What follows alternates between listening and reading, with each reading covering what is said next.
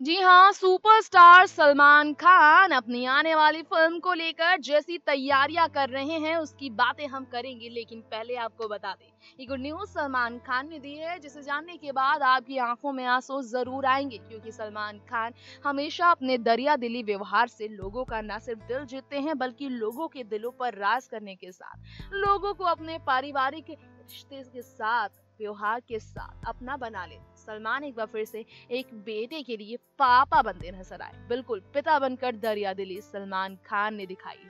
गोद लिया है उन्होंने एक कैंसर पीड़ित नन्हे को, जिसके इलाज के खर्चे को सलमान खान अपने जिम्मेवारी उठाने के लिए हुए तैयार। ये बात कर रहे हैं हम एमपी यानी कि उनके बर्थ प्लेस मध्य प्रदेश की, जहाँ के मानदेश्वर में सलमान खान अपनी आने वाली फ़िल्म दबंग थ्री की कर रहे हैं शूटिंग, और इसी बीच दबंग थ्री के सेट पर जब उन्हें एक नन्हे से सामना करने का मौका मिला तो उस नन्हे से मुलाकात पर उन्हें मालूम हुआ कि वो कैंसर से जूझ रहा है, जिसकी वजह से सलमान ने उनका जिम्मा उठाया।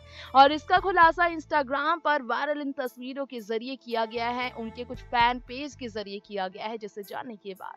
कोई भी कह रहे कि बॉलीवुड के बड़े बड़े सुपरस्टार्स के बीच अगर बड़े दिल वाला कोई है तो वो है सलमान खान। सलमान खान की तरह दिल, उनकी तरह नेक दिल वाला इंसान, उनकी तरह दरिया दिली वाला रूप भला कहाँ किसी को मिलता।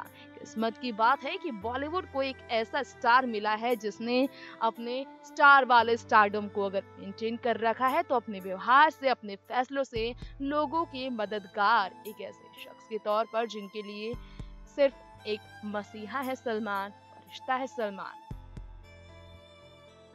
नेक्स्ट नाइन न्यूज़ से तृप्ति की रिपोर्ट